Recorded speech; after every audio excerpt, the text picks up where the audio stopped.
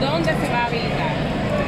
Se va a trabajar en, en otros hospitales ya existentes para llenar lo- las camas que no teníamos disponibles. Ya salieron las pruebas de, las, de los nacionales italianos que estaban sospechosos. para las 5 o 6 por ahí.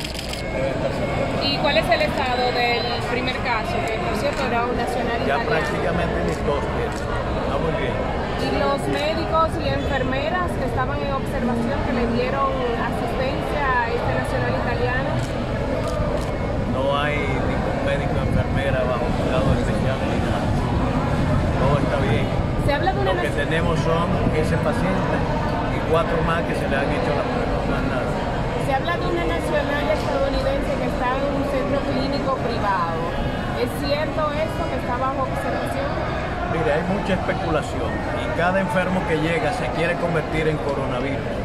Yo creo que hay y se ha puesto que hay que notificar a la autoridad responsable. Cada clínica, cuando llega un paciente que hay esa sospecha, está obligado por ley a hacer la notificación obligatoria y no la tenemos.